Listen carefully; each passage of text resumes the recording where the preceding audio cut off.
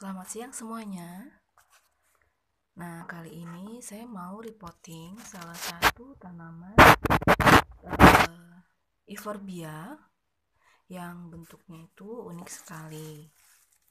Jadi sama seperti uh, tanaman Euphorbia lainnya, untuk jenis yang ini ketika dia tersenggol ataupun ketika kita uh, potong ya maka dia ini akan mengeluarkan getah yang berwarna putih seperti susu.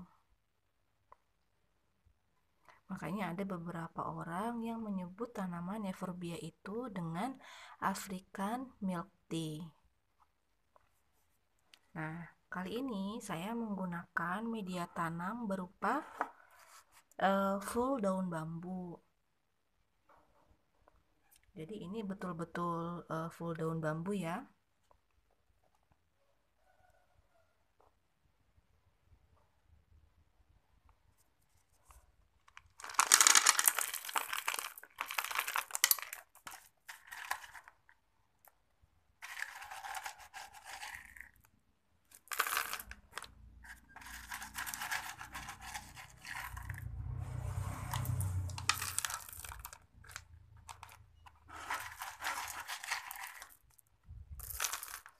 Sebetulnya biasanya saya menggunakan media tanam untuk kaktus dan juga sukulen ya untuk tanaman euphorbia seperti ini.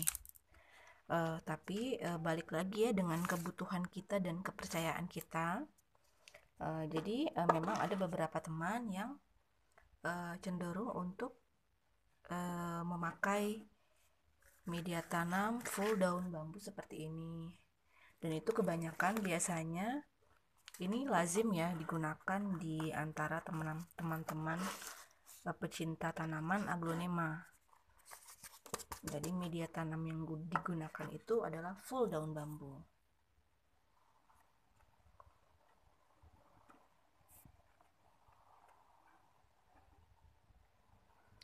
Nah, agar lebih estetis, eh, maka saya menggunakan batu-batu hias seperti ini ya untuk penyangganya.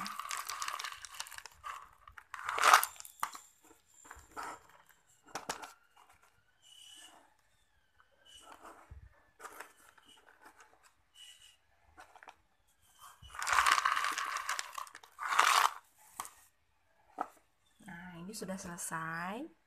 Dan untuk tanaman seperti ini dia perlakuannya kurang lebih sama ya seperti kaktus dan juga sukulen. Jadi mereka merupakan tanaman yang tidak terlalu membutuhkan banyak air. Jadi untuk penyiramannya bisa disesuaikan dengan tempat e, di mana dia ditaruh. Misalnya saja ditaruh di dalam ruangan itu biasanya disiramnya cukup 1 sampai dua minggu sekali. Jadi biasanya satu minggu itu disiram sekaligus dijemur ya. Dan dijemurnya pun nggak usah lama-lama. Biasanya di bawah matahari itu di bawah matahari siang ya sekitar jam 11-an ke bawah itu paling bagus itu cukup dijemur sekitar 1 hingga 2 jam saja